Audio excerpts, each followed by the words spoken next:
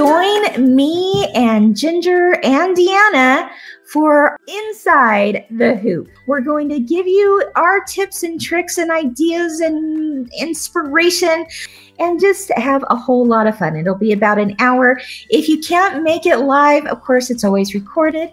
So we hope you'll join us. You can find it on Facebook and YouTube, Inside the Hoop with Kimberbell. Keep experiencing the joy of creativity. Bye bye.